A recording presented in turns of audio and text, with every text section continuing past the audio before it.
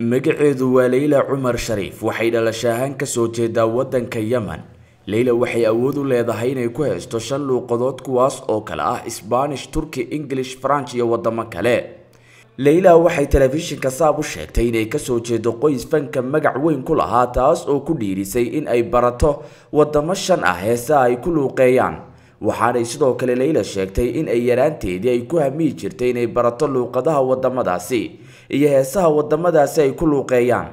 Leyla waxay sidoo kale nooga warbixisay wakhtiga ay ku qaadatay in ay ku xafido heesahaas iyo barashada qaybo ka mid ah luuqadaha wadamadaasi. Well kako aniga luqada waan jeclahay. Anigoo yariis waan jeclahay luqad inaan bardo. Shan ka badan inaan bardaan jeclahay.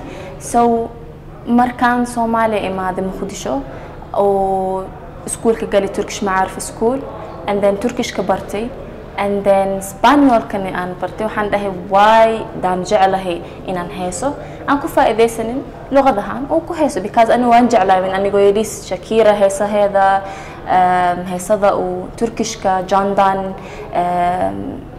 jondan fanaanadoo la dhahaayo camal iyo barish camal fanaankaas heesihiisa so waxaan dhahay aan ka faa'iidaysto luqadaha aan garanayo oo ku heeso okay spaniolka waan ka bilaaba Ay de mi llorona, llorona, llorona, de azul celeste. Ay de mi llorona, llorona, llorona, de azul celeste.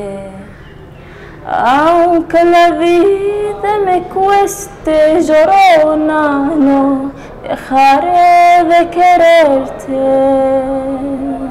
aniga bidaayadan waxaan ku fiirsadaa like heesaska markaan maqlayo fanaanka laftirkiisa ma ku focus garay waxaan ku focus garayaa heeska iyo marahiisa then fanaanka magaciisa i know it's a weird thing gariib weeyaan laakiin badana ma korkiisa fanaan like hees ay cajbine then heestaasaan fiirina mirahoodaan fiirina then aqligay ay ku soo dhaceen.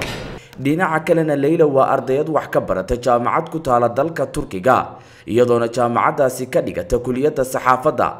Leyla waxay sidoo kale telefishinka saab u sheegtay in aanay dooneynin in ay fanka ku shaqayso balse ay leedahay hambi taas ka fog. Mustaqbalka waxaan doonaya inaan noqdo presenter iclaamiyad.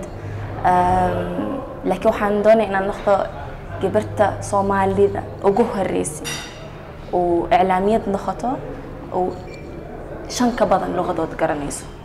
Like badana waxaan arkaya iclaamiyiinta markii uu interview iclaam waa presenter.